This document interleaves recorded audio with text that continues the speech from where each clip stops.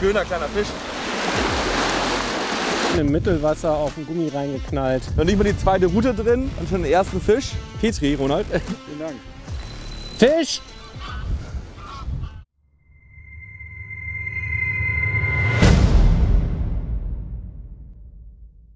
Ein neuer Morgen, ein herrlicher Morgen mit Sonnenschein. Wir haben heute mal gutes Wetter, relativ wenig Wind. Die Zeit wollen wir nutzen. Wir fahren mit dem Boot raus aus dem Hafen im Bagenkop. Genau. Und was wollen wir heute machen?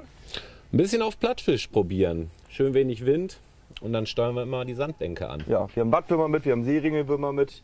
Und da werden wir auf den Sandbänken ein paar Platten fangen. Vielleicht Genau. eine Fische, Flunder, Scholle. Wir Und- probieren unser Glück. Ja, würde ich sagen, Wetter ist gut. Nicht Auf mehr lange geht's. schnacken, wir starten den Motor.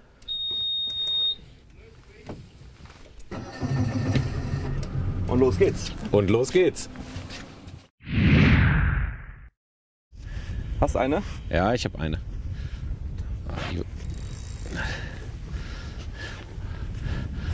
Klein, aber fein.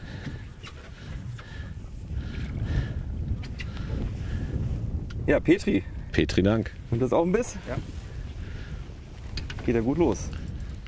Hängt? Müsste hängen. Ja.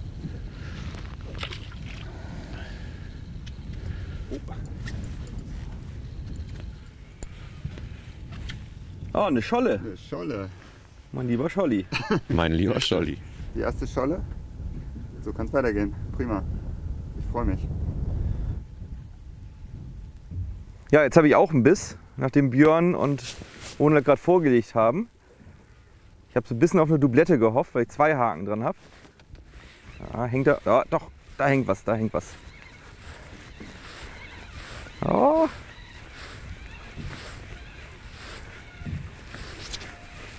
Keine Doublette, aber eine Klische. Herrliche Klische auf Seeringelwurm und der obere Haken. Ja, die nächste Platte ist eingestiegen. Mal sehen, was da hochkommt.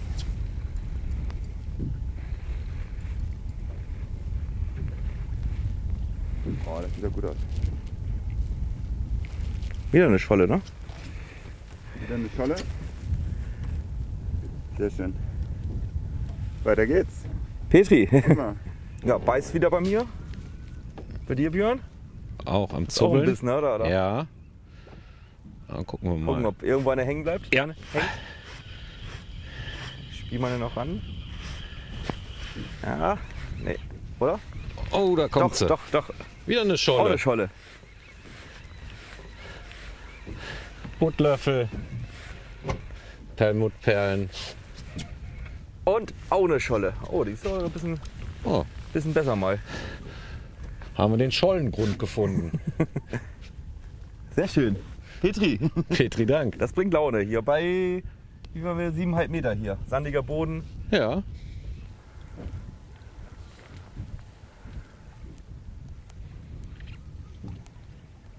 Ja, es geht hier Schlag auf Schlag. Ich habe gerade wieder einen Biss. Fisch hier mit so einer kleinen Multirolle und lass mal ein bisschen Schnur, dass er den auch nehmen kann. Aber ich glaube, der müsste jetzt hängen. Ja, ich probiere es mal. Oder ich habe Björn. Ah. ah, da hängt was. Oh, oh. Vielleicht sogar zwei. Ah, ich glaube, einer hat sich wieder gelöst. Oder? Oh, eine gute, eine richtig gute. Und ich habe dich mit drin. Aber eine richtig gute. Also ein bisschen im tieferen Wasser, so bei 10, 11 Meter, glaube ich. Und da kommen jetzt die größeren. Oder eine größere auf jeden Fall. Und einen kleinen Tüdel haben wir auch. Da ist er. Ja, da kann man doch schon mal Scholle zu sagen. Das ist doch mal hier richtig schöne große Scholle. Und hier bei 10 Meter, 11 Meter Wassertiefe bringt das auch richtig Laune. Ja, die kann sich sehen lassen. Die gibt es heute Abend in der Ferienhütte. Schön gebraten mit Speck. Lecker. Ja, ich habe bis zwei Hakenmontage. Mal kurz gucken. Jo. Hängt. Sehr schön. Gucken, was da hochkommt.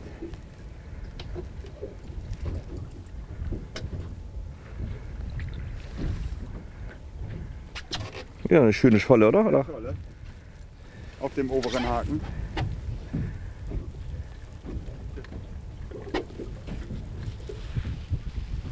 Oh, da haben wir eine richtig schöne, glaube ich. Zumindest deutlich mehr Druck. Und, oh ja.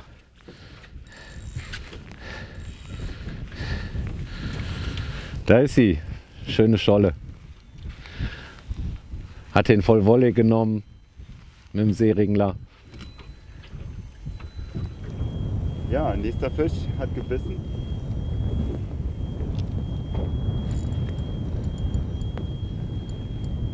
Jetzt schauen wir mal. Hängt? Hängt. Ja, es geht hier echt Schlag auf Schlag gerade. Ja, schön. Oh, schöne Scholle. Unweit vom Hafen, Sandbank oder Sandgebiet. 19 Meter. Toller Fisch. Prima. So kann es weitergehen.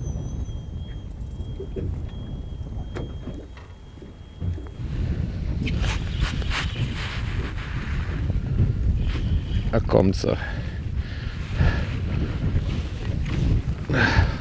Nächste. Ja, Petri. Petri Dank. Schlag auf Schlag hier vor Langeland. Ja, nächster Biss. Schauen wir, was da kommt. Oh ja, fühlt sich gut an. Welche Tiefe haben wir hier? 11 Meter haben wir jetzt, glaube ich. Da kommt auf jeden Fall ein guter Fisch. Macht gut Druck. Zwei Haken. Oh, eine ja. schöne Scholle. Schöne Scholle. Sehr schöner Fisch. Hier vor Langeland auf der Sandfläche am Seeringler. Toller Drill. Prima gezeichnet. Herrliche Angelei. Die macht aber, hat aber Druck gemacht hier. Ah, eine richtig schöne.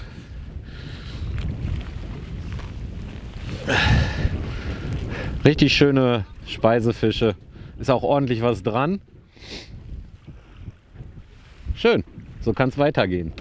Ja, wir fischen hier wieder äh, auf einer Wassertiefe von 7 Meter bis ungefähr 10, 11, 12 Meter. Lassen uns runtertreiben über sandigen Grund. Wir sind hier vor Langeland Humble. Humle und ich fische hier eine ganz normale Butterlöffelmontage.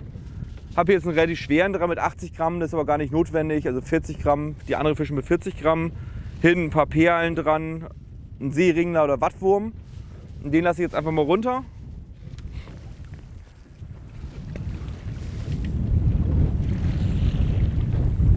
Normale Plattfischroute. Ich fische immer ganz gerne halt eben eine Multirolle. Da kann man mal schön mit dem Daumen Schnur freigeben, ein bisschen bei der Drift. Ja, 11 Meter ist jetzt unten. Und dann einfach halten und ab und zu noch mal ein bisschen eben den Grundkontakt halten. Und dann kommen die Bisse relativ schnell. Hoffen wir es.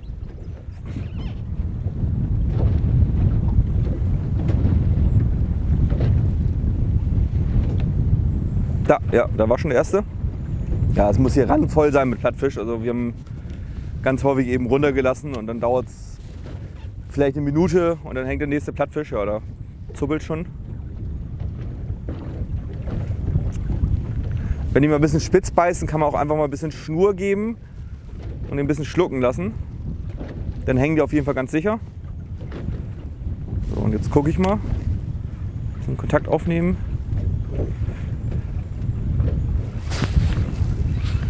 Und der hängt natürlich nicht. Vorführeffekt. Ja, jetzt hat es ein bisschen länger gedauert. Ähm, bis zum nächsten Biss. Ich versuche die gerade ein bisschen ranzuspielen. Wie gesagt, immer, wenn ich einen Biss habe, lasse ich mal ein bisschen Schnur, dass er auch ein bisschen Zeit hat zu schlucken. Aber ich glaube, der müsste den jetzt haben, den Haken. Und Ajo, die hängt. Die hängt. Aber ist jetzt nicht die größte, aber aber wahrscheinlich die kleinste des Tages. ja, Mal wieder eine Klische. Wir haben hauptsächlich, hauptsächlich Schollen hier. Ab und zu mal ein paar kleinere Klischen dabei, aber ja, bringt auf jeden Fall Laune. Ja, wir haben jetzt ein bisschen mehr Wind bekommen. Die Drift ist stärker. Da machen jetzt schon 60 bis 80 Gramm auch Sinn. Ich habe gerade mal wieder einen zweiten Haken ran gemacht und hoffe auf mal eine Doublette. Also Also ein Fisch hängt auf jeden Fall. Ja, ich gucke jetzt mal. Ja, irgendwas hängt. Also hier ist auch ein bisschen mehr Druck durch die Drift. Aber das, das fühlt sich gut an. Dann kurz noch was zur Schnur erzählen. Wir haben hier so eine 15er geflochtene, reicht völlig aus auf über Sandboden. Normales Buttvorfach unten dran. Und da kommt die nächste Scholle. Keine Doublette, aber wieder ein schöner Fisch. Wir wollten euch äh, noch eben zeigen, wie wir uns äh, die Seeringler beködern, beziehungsweise eben die Montage noch. Ein Buttlöffel, kurzes Vorfach daran und Perlen. Es ist jetzt äh, Geschmackssache. Ich fische ganz gerne Perlmuttperlen. Irgendwo noch so ein Farbakzent dabei. Man kann noch ein Spinnerblatt vorsetzen. Aber die beißen hier heute so wild. Ich glaube, es hätte auch äh, einfach mit gar keiner Perle, einfach Mono-Vorfach, hätte auch funktioniert. Zu den Seeringlern, wir haben hier welche, die sind wirklich, die sind groß. Das ist gar nicht nötig. Also da kann man ruhig zwei oder drei Stücke von machen. Das reicht. Kleines Stückchen äh, Seeringler am Haken. Und äh, das funktioniert dann wunderbar. Die werden eigentlich wie ein, wie ein Twister. Man zieht sie eigentlich in der Mitte auf, Haken ansetzen, drüber schieben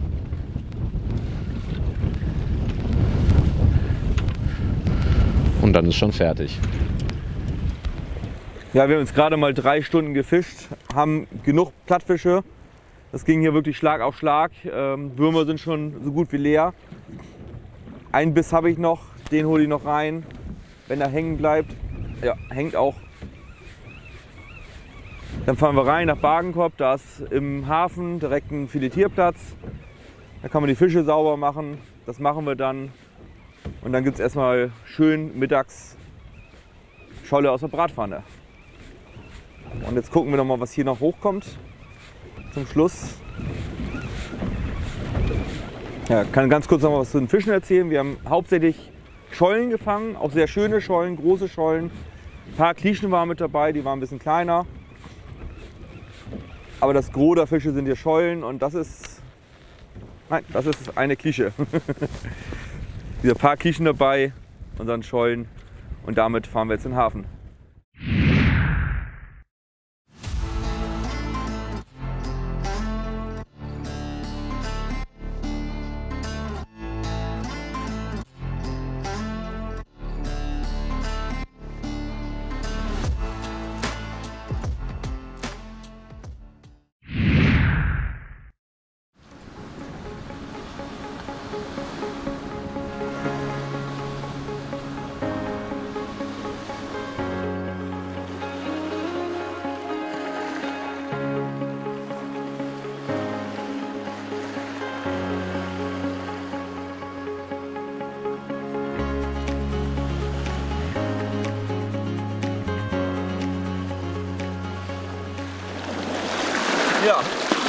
Da ist sie.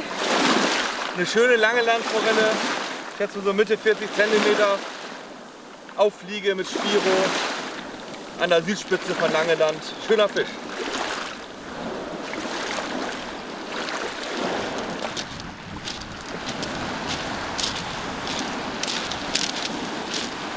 Und irgendwas? Nee, kein Kontakt mehr, gar nichts.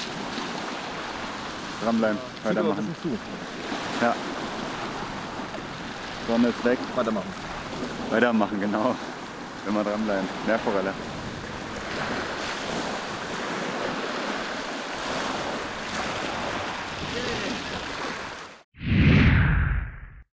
Die Insel Langeland ist bekannt für seinen guten Meerforellenbestand und wir haben es auch probiert, erfolgreich auf Meerforelle zu fischen und ich wollte einfach euch mal zeigen, welche Köder wir gefischt haben.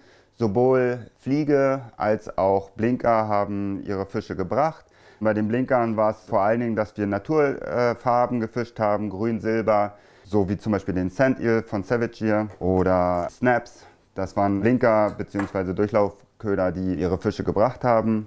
Bei den Fliegen, sowohl am Spiro als auch an der Fliegenroute, war der Samsö-Killer wirklich sehr erfolgreich. Die Fische waren ein bisschen tricky, deshalb war es gut, so einen Köder auch mal in Jig-Bewegung durchs Wasser zu ziehen und die Fische so zum Biss zu animieren. Ebenfalls kleine Magnus-Varianten, sowohl an der Fliegenroute als auch am Spirulino, waren die Köder, die uns zum Erfolg gebracht haben.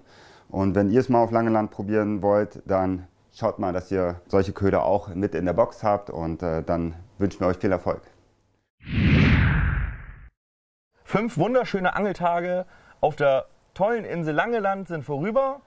Wir hatten Leider. eine Menge Spaß, haben auch viel Fisch gesehen. Wir haben auf Meerforelle geangelt von der Küste. Das Schöne ist, Langeland ist ja eine Insel. Man findet immer bei allen Bedingungen Strand, wo man auflandig fischen kann.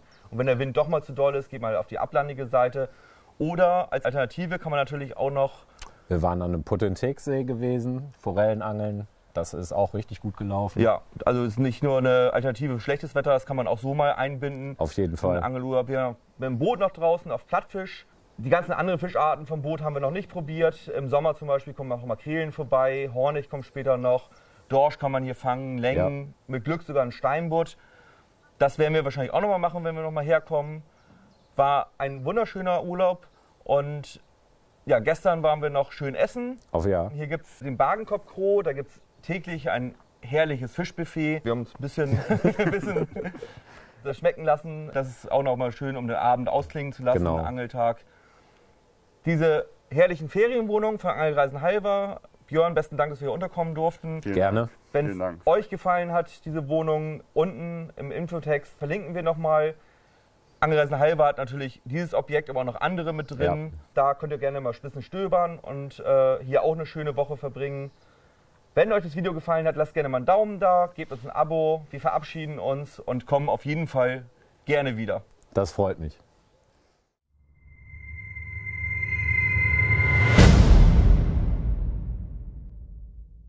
Jetzt sehe ich uns nicht mehr. Nee, das ist auch gut, man soll ja da reingucken, weil sonst äh, Ja, aber guck mal, der ist ganz hässlich da. Kamera läuft schon, ja. Danke. Ich habe noch mehr im Repertoire. Fünf Wünder. Ganz lustig, ja.